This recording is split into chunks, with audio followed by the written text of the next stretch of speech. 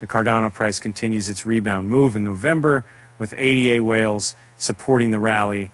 On-chain data suggests the price of Cardano jumped 3.35% to $339 on November 5th, its highest level in about four months. The weekly performance for ADA price is nearly 17%, likely boosted by the two-day Cardano Summit 2023 held from November 2nd to November 4th the hashtag Cardano Summit 2023 Gala Awards dinner. Last night, the hashtag Cardano community came together to celebrate a remarkable summit and honor our industry's shining stars at the Armani Pavilion Burj Khalifa.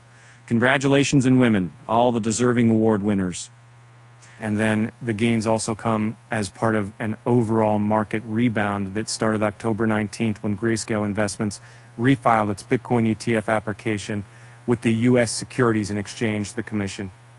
Uh, since then, ADA's price has risen by more than 40%.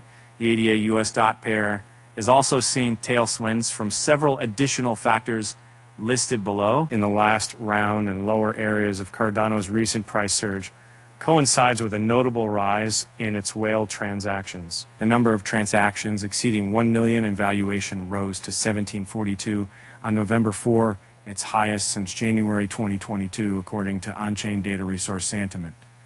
This surge occurred to Honest Point alongside a drop in ADA's daily active addresses. The surge in whale transactions alongside the price rally indicates strong buying sentiment among the richest Cardano investors. Meanwhile, the drop in daily active addresses alongside rising prices hints to Graham at holding sentiment among investors of all sizes. A persistent rise in Cardano's total value WACT is another positive indicator. As of October 31st, Cardano's TVL had reached a record high of 680.76 million ADA, according to data tracked by DefiLlama.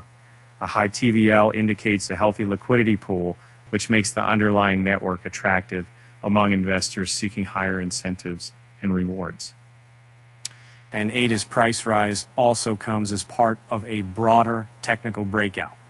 Notably, ADA's price successfully broke out of its prevailing falling wedge pattern on October 1, as shown below.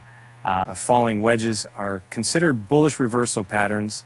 Uh, as a rule, a rising wedge target is equal to the maximum distance between its upper and lower trend line. Uh, thus, ADA's uh, price eyeing a rally up to $0.359 in November, up about 5.5% from current price levels.